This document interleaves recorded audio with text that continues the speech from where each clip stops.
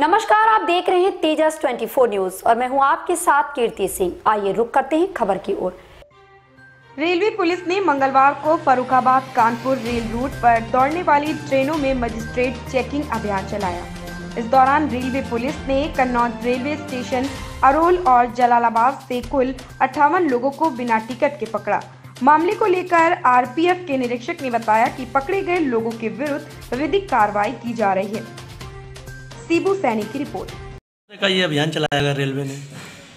आज railway magistrate Fatehgarh महोदय के निर्देशानुसार रेलवे कमर्शियल टीम आरपीएफ व जीआरपी टीम द्वारा मजिस्ट्रेट महोदय के निर्देशन में संयुक्त रूप से बिना टिकट चेकिंग अभियान चलाया गया।